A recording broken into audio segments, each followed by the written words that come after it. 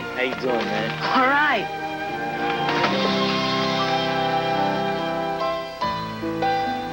Mom and Dad asleep? Yeah, we weren't expecting you until noon. Let's let them sleep for once. When did you learn to make coffee? You have been gone for a while.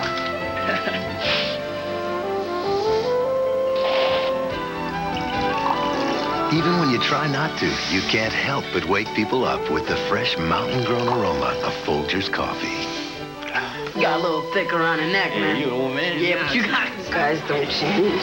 You never did let us sleep, baby.